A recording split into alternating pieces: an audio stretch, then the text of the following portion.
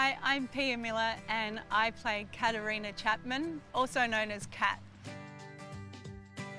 When I first found out that I got the part of Katarina, I was equally nervous as I was excited. It all happened so quick, so there was no time to really process it, um, which, which probably helped in many ways as well, because it was just straight into the deep end and, you know, I had to either sink or swim. Mr. Ashford, been looking for you. My first day on set was interesting. I, I it was this feeling of, of, feeling like you're the you're the new kid at school. Um, everyone knows each other, and you know, really made me feel like I was part of the family.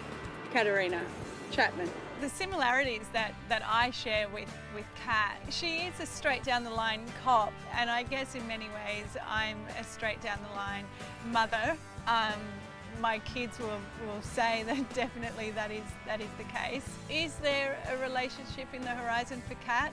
Dr. Cooper catches her attention.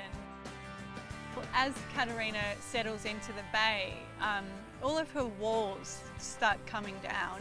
The whole um, Cop and Braxton relationship definitely does get tested when she first enters the bay. I mean, Kat's come from the city.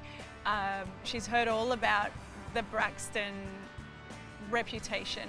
So on paper, you know, she's just doing her job and, and you know, there's, there's been a murder and so she comes in and she's investigating that and, you know, all the evidence is, is piling together nicely against the Braxtons. Naturally, um, she starts feeling for the family a lot and she starts feeling um, a lot of empathy and, and a lot of sympathy for the situation and again it's one of those situations where the human aspect of, of Kat really comes into play and then she's sort of battling a little bit of her her professionalism so that becomes the um, the little tug of war, the internal tug of war that Kat goes through.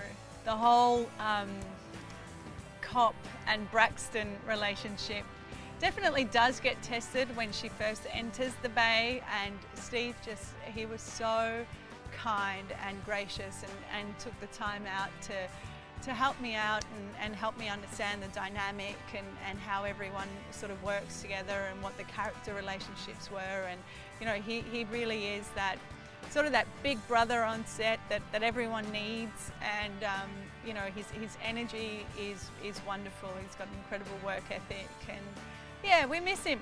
Come back.